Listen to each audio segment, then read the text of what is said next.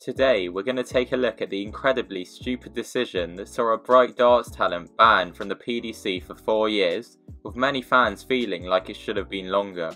Brad Phillips is an English player from Harlow who is now 20. He first made a name for himself in 2018, where he won the first JDC event of the year in Dorchester. Brad also managed to win the second event of that year, which took place in Worcester in the following month. After winning his first round game at the next event, his winning run came to an end in the last 32 where he lost 3-1. However, he managed to bounce back from this setback and won the fourth event of the year, which took place in Benfleet, taking his third title. He missed the next event before failing to reach the final at the last three events. Brad was the only player to win multiple JDC Tour titles that year and earn the spot as a JDC All-Star allowing him to practice with pro players.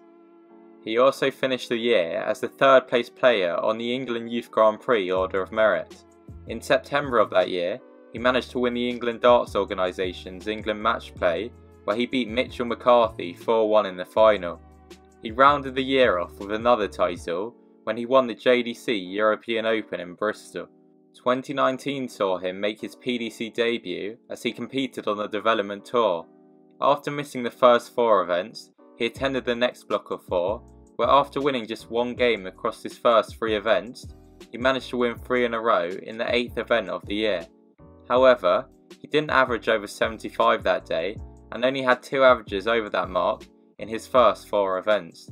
His standard improved in the next block of four, where only one of his averages was below that mark, but he didn't make it past the last 64 of any of the events. He didn't appear in the next four events, but returned in the final four, where despite being inconsistent, he had two good runs, one which saw him reach his first quarter final on the final event of the season. He finished the year 70th on the Order of Merit and made it to the World Youth Championship, where he lost 5-3 to James Beaton and 5-1 to Shane McGurk, meaning that he was eliminated in the group stage. In that year, he was also part of the England teams that won the Boys British Internationals, as well as both the overall and boys pairs titles at the WDF World Cup in Romania. He also continued to play in the JDC, where despite failing to win a title, he finished 7th on the Order of Merit, which due to his age was high enough to earn a PDPA scholarship, helping him to continue to play on the development tour in 2020. His 2020 began with a trip to Q School for the first time. Across the four days, he never averaged above 83 and only managed to win two games, meaning he failed to gain a card. Ahead of the start of his development tour campaign, it was announced that he had signed with Mission Darts. He played in all 10 development tour events in 2020, but only had one average over 84. He failed to make it past the last 16 of any of the events, and only reached that stage once.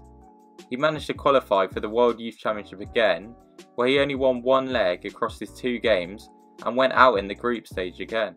He then didn't play in the PDC for almost a year until the start of the 2021 Challenge Tour, which was held in two blocks of six events.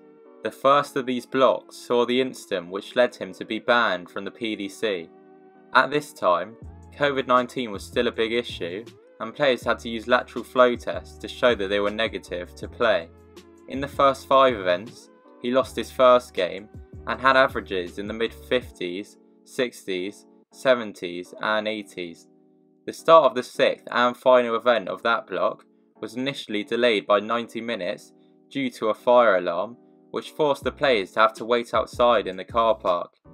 The event eventually got underway, but another issue became apparent as more players than normal began to withdraw from their games. Brad Phillips was one of them. A few other players, including Conan Whitehead, Joe Davis, and Scott Marsh, who had all won their first round games, also withdrew.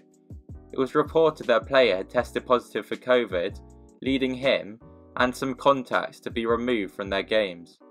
Rumours began to swirl on social media, and it became clear that Brad Phillips was the player that had tested positive but there was more to come out. Initially, the PDC announced that a player who had provided a negative test on arrival to the event had been retested and tested positive, leading to him and his close contacts being removed from the event. On the following morning, some shocking details were reported. It was stated that Phillips had known he was positive two weeks before the event, but that he was still practicing with another player at the time. Despite still being positive on two tests he took on the day of the event, Brad was driven to the tournaments by his father.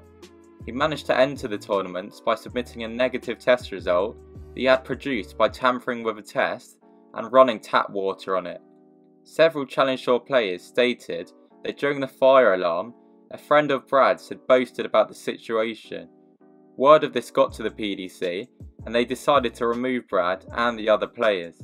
A statement from the management of Davis, Marsh, and Whitehead was released. They backed up the claims about the fake test and stated that they had reported the player to the PDC and PDPA. The statement also revealed that Marsh and Whitehead were mid-game when they were asked to leave, whilst Davis was warming up for his board final. They announced that all three of these players later returned negative tests. However, due to having to isolate, all three of these players were forced to miss the Euro qualifiers, and Conan missed out on playing in the Modus Super Series Champions Week the following week, which he had worked hard to qualify for, and where he could have had a chance to win £5,000. Conan released his own statement where he said the contact with the player had been unknowing. He sounded devastated after missing out on Champions Week. Many players, managers, and fans reacted furiously on social media and called for a large punishment, with some even feeling that the police should have got involved or legal proceedings should have been looked at. Before we take a look at the DRA investigation into Brad, please don't forget to like the video, subscribe and turn on notifications as it really helps the channel out and currently just 11% of my watch time comes from subscribers. Phillips didn't play in another PDC event for the rest of 2021 and he has still not appeared in one since. When the DRA released their list of cases for 2021, the reason for this became apparent. It showed that a month after the incident, a hearing took place as it was alleged that Phillips had broken DRA rules 3.1 and 3.7, which state that players cannot commit acts that bring the sport into disrepute and that players must follow the instructions of tournament officials. It was alleged that Phillips had breached COVID policy, produced a fake test result, and infected three members of PDC staff. He was found guilty and given a suspension from DRA sanctioned events, which include all PDC events, until the 14th of February 2025, which is just over three and a half years. This ban was deserved, and I for one feel it should have been even longer. Sure, Brad is a young player, but his actions were reckless and put others in danger and made them miss out on potential earnings which could have been significant in Conan's case. Let me know what you think about the decision in the comment section below.